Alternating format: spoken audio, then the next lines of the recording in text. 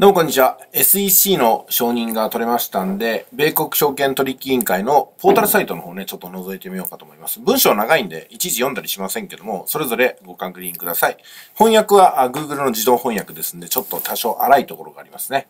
えー、このように書かれてあります。ビットコイン取引所、取引商品の承認に関する声明ということで、ビットコインが、これデリバティブになりましたってことですね。1月10日、ゲイリー・ゲンスラーってね、GG さんですね。何でしょうかね、これ。難しい名前は。やっぱりこういう偉そうな人って、ちょっとこう、なんていうんですか、頭がちょっと寂しいような感じがしますけども、さすが、白人という感じがしますよね。で、この方がね、え声明を出されていますっていうことです。ここは、ああんまり、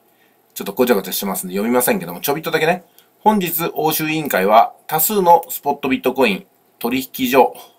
ETP 株の上場と取引を承認したということですね。私もしばしば委員会は法律の範囲内で行動し、裁判所が法律をどのように解釈するかについて述べてきましたと。J. クレントン委員会の下で、2018年に始まり、2023年3月まで委員会はスポットビットコイン ETP に関する20件以上の取引所規制申請を不承認とした。そのうちの一つは、あグレイスケールが作成したもので、グレイスケールビットコイントラストの ETP への変換を検討していました。というふうに5択が入ってますけども、まあ、はっきり言って何のことかわかりません。だから読みません。えー、とりあえずは、ビットコインが、えー、承認を受けたってことなんで、よかったねってことなんですけども、じゃあ価格はどうでしょうかね、あまり変わってませんということなんですよね。うん。どういうことなんでしょうかね爆上がりするって言ったのは誰なんでしょうかまあ私はね、あまり言わなかったと思いますけども、でも心の中で思ってましたけどね。うん。